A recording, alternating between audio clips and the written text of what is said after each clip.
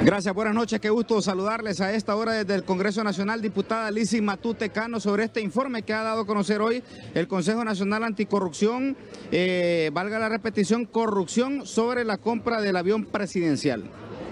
Gracias Alex, un saludo para todo el pueblo hondureño. Bueno, creo que todos presenciamos el, el informe que dio a conocer el CNA.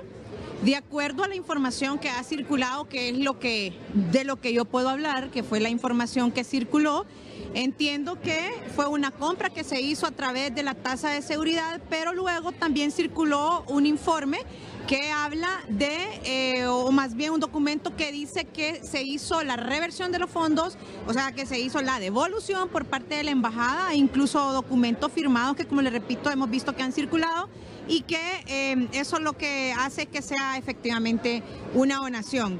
Creo que las investigaciones se deben de hacer si fue la compra hecha correctamente y luego la devolución hecha correctamente, no veo dónde esté ningún acto de corrupción. No obstante, si lo hay, pues también se le debe deducir responsabilidades a quien corresponda. Este informe que también ha respondido por parte de las eh, ex autoridades del Partido Nacional en cuanto a los manejos de los fondos de la tasa de seguridad, ¿se hizo de manera transparente el manejo de los fondos? Mira, Alex, yo creo que cada cual acá debe de rendir cuentas por lo que hizo, por lo que firmó, por lo que eh, ejecutó.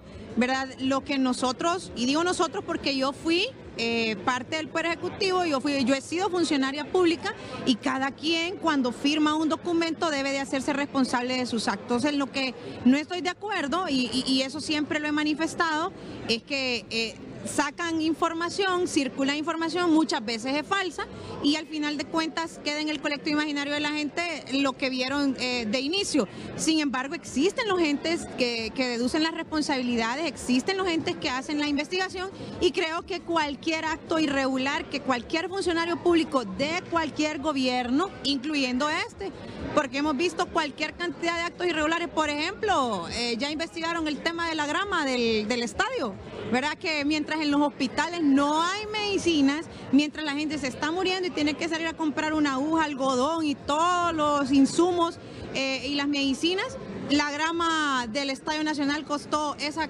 exuberante cantidad de millones de lempiras. Hoy la gente está sufriendo tremendamente por el tema delincuencial, ¿verdad? Los homicidios, los feminicidios y no vemos ningún tipo de inversión en la seguridad de la gente, que se trata, los dos temas se tratan de la vida de las personas. Entonces yo creo que también eh, deben de empezar a señalar todas las irregularidades que en este gobierno se han presentado, que han sido muchísimas, además del incumplimiento de todas las promesas, ahí están los peajes.